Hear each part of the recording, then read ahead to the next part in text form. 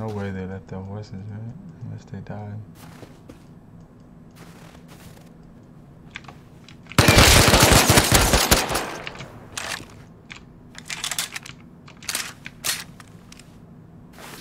That's one dead.